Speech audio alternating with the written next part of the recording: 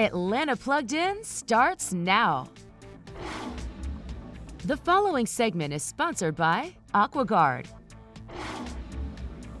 One of the last things you want to worry about are structural concerns in your home. Owner of AquaGuard Foundation Solutions, Tom DiGregorio, joins me to talk about wall failure.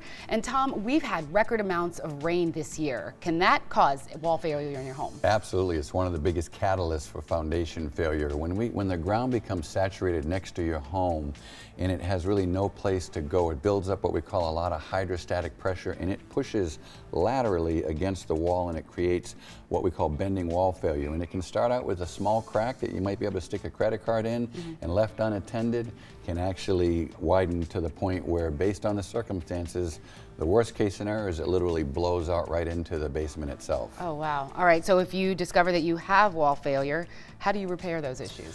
Well, that's the, the best part is they're all typically resolvable. Okay. We have three different methods. We don't have one size fits all. We have our um, Geolock wall anchors, uh, which is one way. It's kind of an anchoring system. We also have our power braces, which are more like steel I-beams that are done on the inside. And then we have CarbonArmor, which is carbon fiber technology, which is also done from the inside, all of which keep the wall from moving any more further inward and stabilize that wall permanently. Okay, and if you have a dangerously unstable wall, what should you do?